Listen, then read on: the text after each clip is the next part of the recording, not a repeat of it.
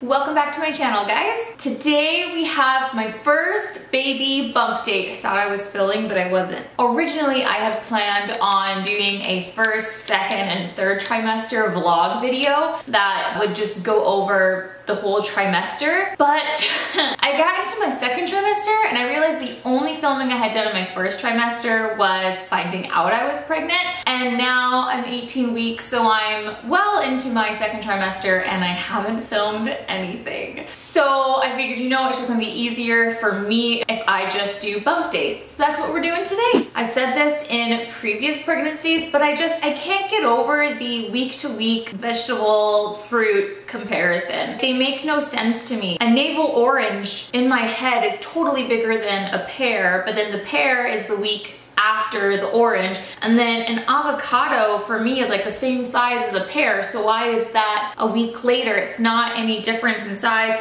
And then I'm like, okay, a large onion. That makes sense. And then this week, 18 weeks, a cucumber? There are some big cucumbers out there and then there are some smaller cucumbers out there. It just, it makes no sense to me at all. Anyways, apparently the baby is the size of a cucumber this week. Tiny fingerprints. Your one-of-a-kind baby is truly one of a kind now with unique fingerprints on those little fingertips and toes. Myelin, a protective insulation is starting to form around baby to be's nerves. This covering continues to grow until your baby's first birthday. And having a girl, the fallopian tubes and uterus are are now in position. A boy genitals may be visible on your next ultrasound. Well, I certainly hope so because we are finding out if we're having a boy or a girl. what else is going on? Now for the skill of the week, the art of the yawn has been mastered by your baby along with hiccuping, which you may feel soon too. I use the What to Expect pregnancy app and I used it in my pregnancy with Meredith and I really liked it. So I'm using that this time around too. And that is the 18 week update. So yes, by the time you guys are watching watching this, I will be 18 and a half weeks pregnant. This pregnancy has gone by so fast. Like to think that I'm almost halfway, that in two weeks or a week and a half, I'll be at the 20 week mark, it just blows my mind. My pregnancy prior to my ultrasound felt like it just dragged on so slow because I was counting down the days until I could actually have my ultrasound and my ultrasound wasn't until I was 13 weeks. So it took a really long time for me mentally to just even feel like I was actually pregnant. And I definitely had a lot of just concerns because I would have a ton of cramping and then dramatically no cramping. And it was like, is this okay? And of course in my head, I know it's normal, I know it's okay, but then the cramping would suddenly come back full force and it was like, oh my goodness, am I okay now? If you've been pregnant before, you know that feeling of, is everything okay? What's going on? And getting to that first ultrasound is just a huge relief to hear there's a heartbeat, that the baby is progressing well. I know for me, there's this nagging feeling until I get to my ultrasound of all you've done is peed on a stick. What if you're not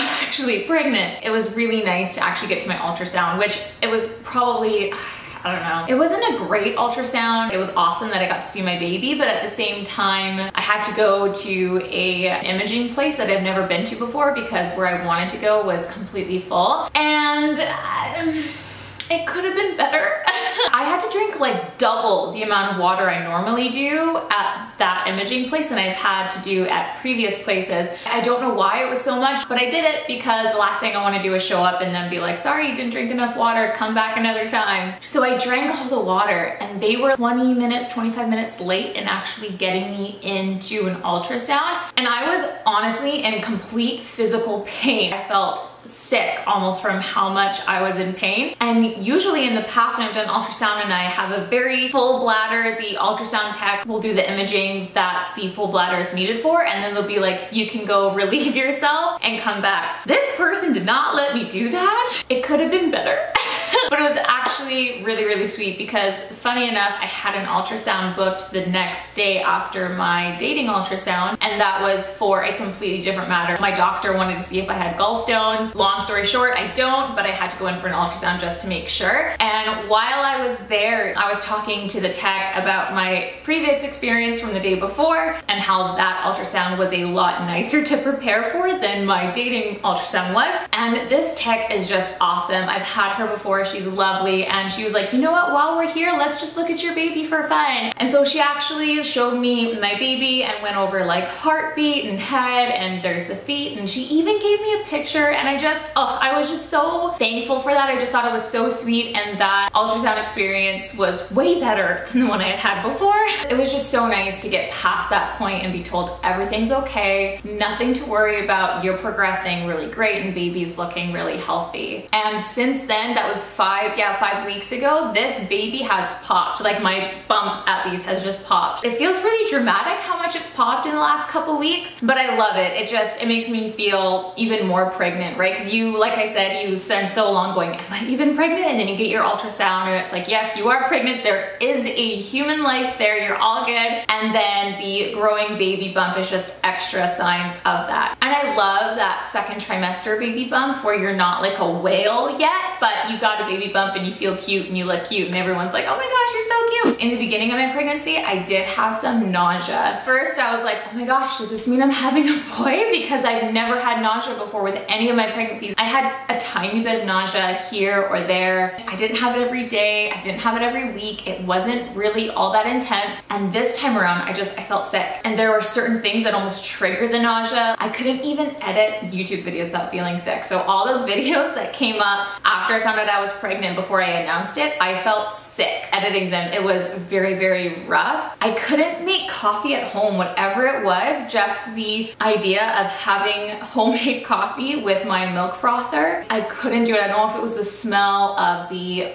frothed milk that made me feel sick. And because I associated that with homemade coffee, that my brain was like, you can't have that. I definitely had my share of going out and buying coffee because I needed coffee and I couldn't have it at home. So that was a really weird and really horrible side effect of feeling nauseous. But thankfully, I ended up talking to my midwife. It was actually the one appointment I've had so far and it was over the phone and I was telling her that I was feeling nauseous. She asked if I was on any supplements and I told her I was on the folic acid for my first trimester and that I was also taking iron supplements because I felt like my iron was low. And she was like, I bet that's it. She said, I'm sure that you're feeling nauseous. Either you're having twins, which I'm not, ultrasound proved it already, or it's the iron supplement that is making you feel sick. So I decided I would rather have low iron than feel nauseous for my first trimester. So I immediately got off of the iron and felt a lot better very quickly. But because because I had that mental association with different things making me feel nauseous, it still took me a bit of time to actually edit videos or drink coffee at home again without feeling sick. But as you can see, I'm drinking homemade coffee. There's no steamed or whipped milk in it, but it's okay. It's homemade coffee. I can drink it and not feel sick, and I'm very thankful for that. Aside from feeling nauseous, I've had a lot of cramping on and off. It'll be like a few days, I'll have a whole ton of cramping and then it'll just be gone the next day and I'll be fine. And then a few days later, it'll come back again. But it's in both sides and it isn't causing me too much discomfort. Ever since I have seen that the baby is doing well on the ultrasound, it doesn't give me any concern. However, I have been having the weird dreams. The weird dreams have officially kicked in. They are weird, okay? Like last night I had a dream that that Charlotte, her, I was looking up in the top of the roof of her mouth because she was complaining about something hurting. And I was looking up in the, in the roof of her mouth and she had along the back of the top, like the roof of her mouth on the back, she had three layers of teeth, like almost like a shark has like the layers of teeth. And she had all these extra layers of teeth. And I was like, that, what the heck is that? And then I felt pain in the back of my mouth in my dream. And I looked up at the roof of my mouth and I had the same thing.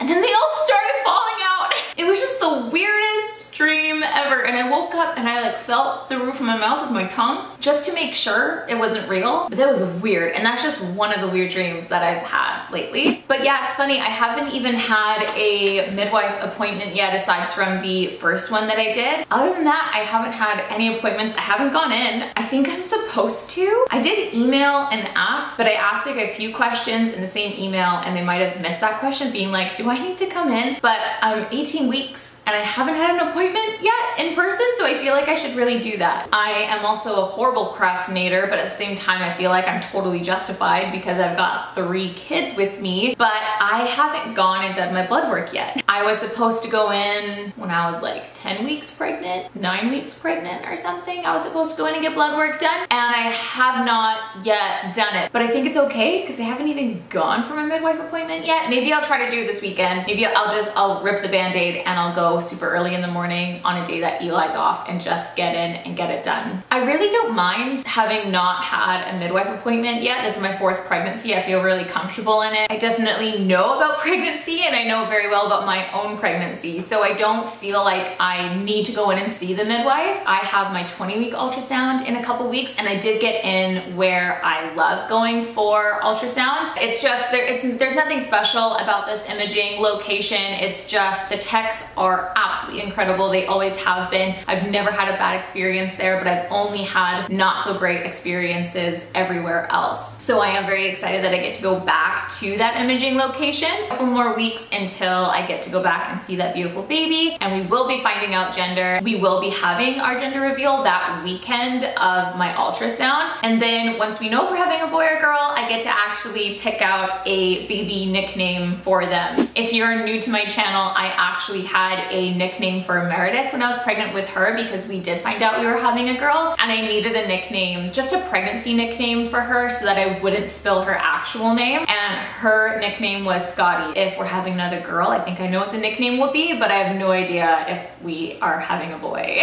At this point, my gut is saying girl. In all of my past pregnancies, I have had dreams about baby. And before I ever found out with the other girls that I was having girls, I had dreams that I had girls. And I don't know if that's like my subconscious or something is more in tune with what's going on in my body than I am and can detect the rise or lowering in different hormones that means I'm having a boy or a girl. And then I just, when I'm dreaming that I'm having a baby, that my subconscious puts a girl in because I'm having a girl. I don't know, it's a total theory. It could be complete pokey pokey, hocus pocus, whatever the whatever the term is. It could be wrong. I, with all my other pregnancies, guessed boy the whole time because I just had this, ah, it'll probably just be a boy. And I didn't go with my gut. So this time I'm going with my gut and I am guessing girl. But then I was also thinking about it and I've had a couple girlfriends who have had their first babies this year and I was so sure, like in my gut, knew what they were having. One of my friends, I thought for sure, you're having a girl, no question question. Like I was so convinced of it that I kept forgetting they hadn't actually found out that they were having a girl. Like they hadn't found out at all. And then she had her baby and I was like, that's a weird name for a girl. Like, okay, like, I mean, no judgment. Everybody can name their kid whatever they want, but like,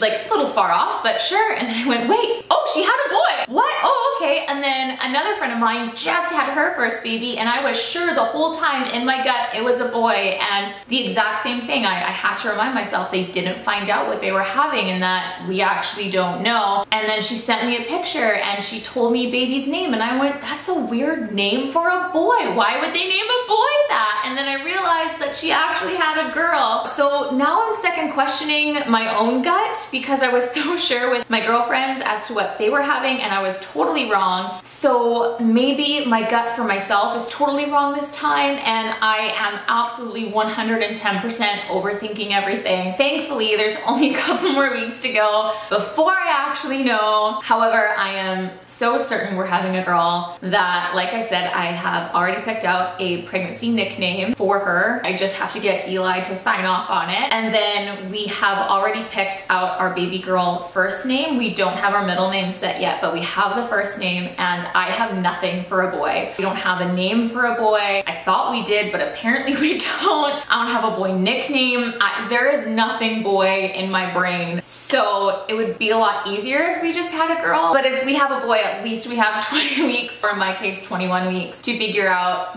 what on earth we're gonna name him. Is this an angelic moment or what?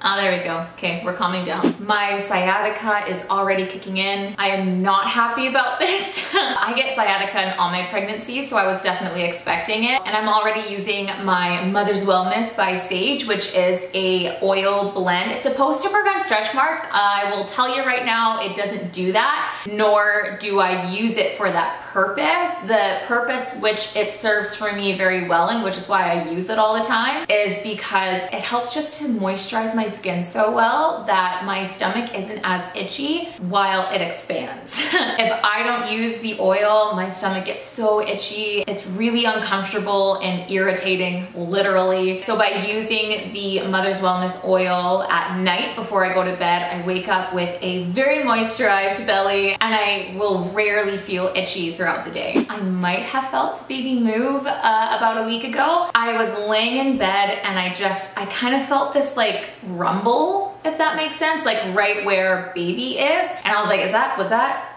was that gas that felt a little bit different than gas, but like, was it? And then gas never came. And in the past when I've gone, that was definitely gas that wasn't a baby moving. Gas has come and it has gone. but this time it didn't. There was no gas to be gone. So I think it was baby, but I, I don't know. It wasn't obvious enough for me to tell. I also don't know yet if I have a anterior or posterior placenta. Beverly and Charlotte, I had an anterior placenta, so my placenta was right in front and it acted as a cushion, so I couldn't feel their movements for quite some time. Like, I don't think I could even feel Bev move until I was 26 weeks. Charlotte was, I think, 22, 23 weeks I started to feel movement and knew it was her movement. And with Meredith, I had a posterior placenta, so I actually, at the 20 week mark, could feel her moving. I don't know what I have this time around. I forgot to ask the technician to let me know what I had, but I will find out in a couple weeks as well. But yeah, other than that, I'm feeling really good all around. I'm trying not to be so hard on my body as it again changes a whole lot. I've always been very judgmental of my own body in that way, going, oh my goodness, like why are you gaining weight there? Why are you stretching out here? And I haven't just enjoyed why those changes are happening. So this time around, I'm really trying to keep more of a positive attitude and be comfortable in my own body. So that's what I'm working on this pregnancy. But yeah, guys, other than all of that, I'm feeling really great. I'm feeling really good at 18 weeks and I can't wait to do more bump dates in the future where I have some more nitty gritty fun details for you. And next bump date, guys, we're gonna know if the Lord has given us a boy or baby girl. I, I can't wait to find out. I'm so excited. To make sure you don't miss that bump date and gender reveal, don't be afraid to hit that subscribe button, that like button. Thank you so much for clicking on my face and I will see you guys in my next video.